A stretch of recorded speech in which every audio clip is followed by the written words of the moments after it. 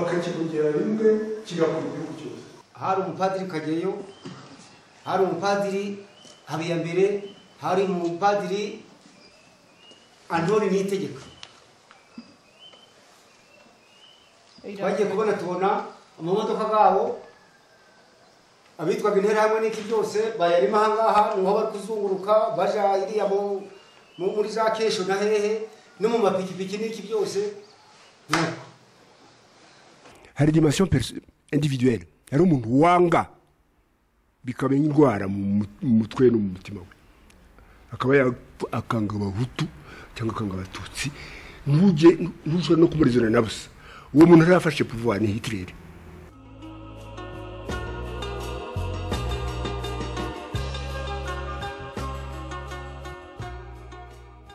Kugeza amabwiriza y'ubwicanyi mu rwanda hose byanoroherejwe na radiyo rwanda yunganirwaga na radiyo rtlm madamu w'ingimana agatari ibyo ntabyumva. Ubwo ngubwo abantu bibajije ukuntu biri bugende abantu barimo baravuga bati mutubwire gusa eh, mutubwire niba sederi sederi itarahiye hanyuma noneho tubereke abasederi icyo ari cyo ko ari rubanda nyamwinshi hanyuma mutubwire niba bakamare batarahiye kandi babifitiye uburenganzira hanyuma noneho murebe ukuntu bigenda. Maze mu by'ukuri ndakeka yuko bari kumva radiyo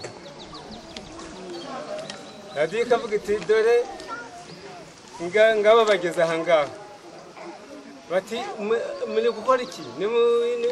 Mufate imbunda. Mujye niba ugiye guhinga witwaza imbunda. Inyenzi nigusanga uyice witabare. Ngira ngo hano ndabona nta n'abahari ariko hariho abo twigeze kujya tuganira rimwe na rimwe. Ubu ngubu basohoye nk'ikinyamakuru. Tukaganira noneho ukamubwira "Ese ikinyamakuru cyawe. Reka nk'umuntu w'inshuti reka tuganire. Ukabisoma noneho akakubwira yageze aho ngo none se uragira ngo banyemerere kumbwira epirimeri kabiri gatatu ntabwo yitaye ku birimo n'ingaruka zabyo. We ariho arita gusa ku mibereho ye. Regime ya habyarimana yari afite inshuti zayo ze. Izo rero zamushyigikiraga muri zo mu gasutse mediatike usanga ibi- ibi- ibinyamakuru byerekeye leta biravuga bira- bi- biramwankuraja biramushyigikira. Nibwo wumvaga nko najya mbibona hanze icyo gihe bavuga ko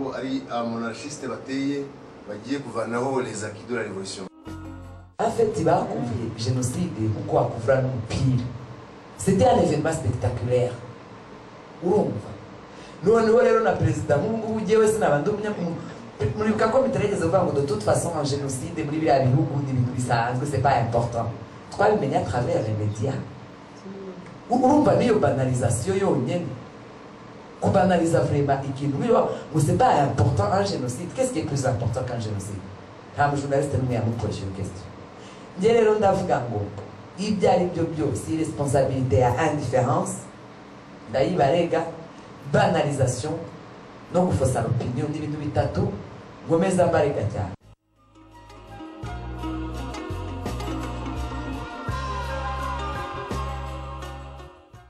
nubwo bizwi ko ubutegetsi bwahamagariye abahutu kwica abatutsi twakwibaza impamvu umuntu yageze aho yica umuturanyi we basangiye byose bahanye inka n'abageni ndetse hari n'aho umubyeyi yishe umwana we. Ese uko ni ukubaha ubutegetsi gusa? Kugira ngo bafate imipanga babice ntabwo byari ibintu gusa banyanyagizamo gusa hari abantu babishaka babishyira ku murongo babishyira kuri porogaramu bakabyigisha abandi. Muri abo bantu ntekereza ko kayibanda yari afite ikintu cya rasisimu profu ibyo disikuru avuga ibyo yagiye avuga byose ibyo yajya kuburana na na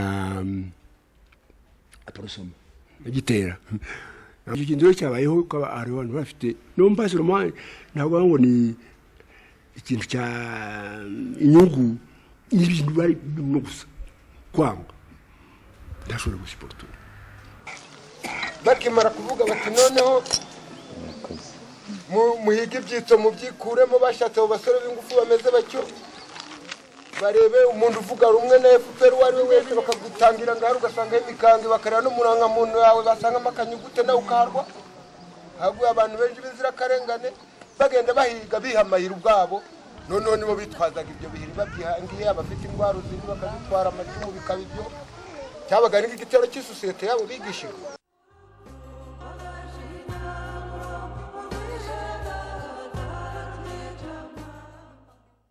kuba abicanyi barageze aho bumva ko bashobora gutsemba abatutsi byasabye imyiteguro ihagije kubyumvisha abahutu bagombaga gukoreshwa no kugaragaza ko bishoboka. Mu gutegura abahutu muri rusange ngo bazagere aho batsemba abatutsi ntacyo bishisha amashyaka ya pawa yabifashije ubutegetsi bwa habyarimana.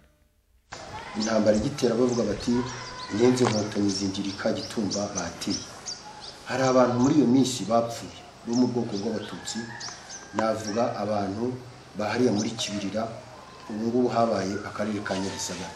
Abo bantu bapfuye muri mirongo urwenda barohwa mu ruzi.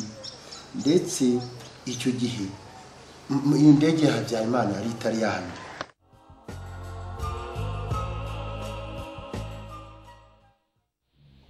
jenoside yahitanye abatutsi basaga miliyoni.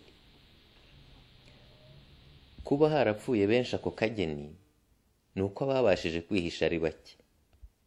Babuze aho bihisha kuko benshi banze kubafasha. Abantu bakomeje kuganira ku mpamvu habuze abarwana ku bandi ku buryo bugaragara ngo harokoke benshi. Ubwo mbese nari ndimo nshaka kubaza umuntu icyo gihe washoboraga nko kuba yahisha umuntu yabaga ari muntu ki? Yabaga ari nde? Wumva ko uwo ari we wese nta urumva uriya Byaterwaga aravuga umukecuru w'umuntu. jewe ubwanjye namuhishe iwanjye mu nzu byavuga ko nari ndi umusirikare.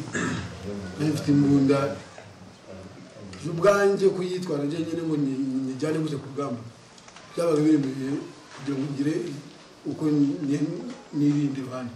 Umugore witwa sekujuba ivone n'umugore witwa nyiramabanju kubera ko twari duturanye n'abantu twabanaga neza n'abagabo babo biba ngombwa ko bahungira iwanje mu nzu.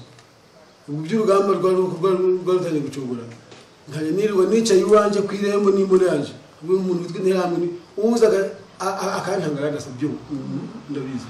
Ariko ugira umwaka iyi porotira bye nzi ko nihana baraduhishe bigeze aho bisa n'ibinaniranye kandi ukumva ni byo ukabona nta kuntu batagize. Eh, parayeri mu baturanyi bacu abandi nabo bashoboye kurokoka bo bagiye barokorwa nabo bitaga ba- babikoma baba- b'abagangi bo batanga